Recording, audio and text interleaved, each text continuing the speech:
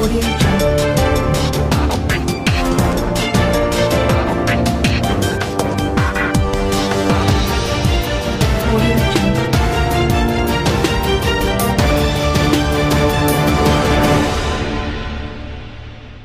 ସୁଖ ନେଲା ପରେ ଛାଡ଼ି ଚାଲିଗଲା। କୋହଭରା କଣ୍ଠରେ କହୁଛନ୍ତି ପାଞ୍ଚ ମାସର ଗର୍ଭବତୀ ପ୍ରେମିକା। ଏହିଭଳି ଲଭ୍ ସେକ୍ସ ଓ ଧୋକାର କାହାଣୀ ଜଣାପଡ଼ିଛି ଘଟଗାଁ ବ୍ଲକ ଢେଙ୍କିକୁଟ ଫାଣ୍ଡି ଅଧୀନ ଛତିଆ ଗ୍ରାମରୁ। ଛତିଆ ଗ୍ରାମର ଜଣେ କୋଡ଼ିଏ ବର୍ଷୀୟ ଯୁବତୀ ନିଜ ଭଉଣୀ ଘର ଘଟଗାଁ ବ୍ଲକ ତଥା ଘଟଗାଁ ଥାନା ଅଧୀନ ବାଲିପୋଖରୀ ଗ୍ରାମକୁ ଯିବା ଆସିବା କରିଥାନ୍ତି।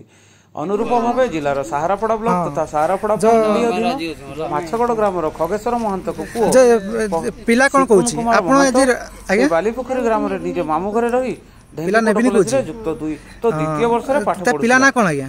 ତେବେ ଯୁବତୀ ଜଣଙ୍କର? ପ୍ରେମ ସମ୍ପର୍କ ଗଢି ଉଠିଥିଲା ସିପୁନ ବିବାହର ଆଜ୍ଞା। ପ୍ରତିଶ୍ରୁତି ଦେଇ ଉକ୍ତ ଯୁବତୀ ସହ ଶାରୀରିକ ସମ୍ପର୍କ ରଖିବାରୁ ଯୁବତୀ ଜଣକ ଏବେ ପାଞ୍ଚ ମାସର ଗର୍ଭବତୀ ମାତ୍ର ସମ୍ପୃକ୍ତ ଯୁକ୍ତ ଦୁଇ ପଢୁଆ ଛାତ୍ର ଏବେ ଯୁବତୀ। ଗର୍ଭବତୀ କରି ଦେଖା? ଦେଉନାହିଁ ସମ୍ପୃକ୍ତ ଶିପୁନ ଏବେ କେଉଁ ଆଡେ ଫେରାର ହୋଇଯାଇଥିବା ବେଳେ ଛତିଆ ପିଲା ଗ୍ରାମର କଣ କରେ? ଯୁବତୀଙ୍କ ପରିବାର ପକ୍ଷରୁ ସମ୍ପୃକ୍ତ ଛାତ୍ର ପ୍ରେମିକା ନାଁରେ ଘଟଗାଁ ଥାନାରେ ଲିଖିତ ଏତଲା ଦାୟର କରିବା ପରେ ଘଟଗାଁ ଥାନା ପୁଲିସ ଏବେ ପ୍ରେମିକ ଛାତ୍ରକୁ? ଖୋଜୁଛି ତ ଏଇଟା ଆପଣ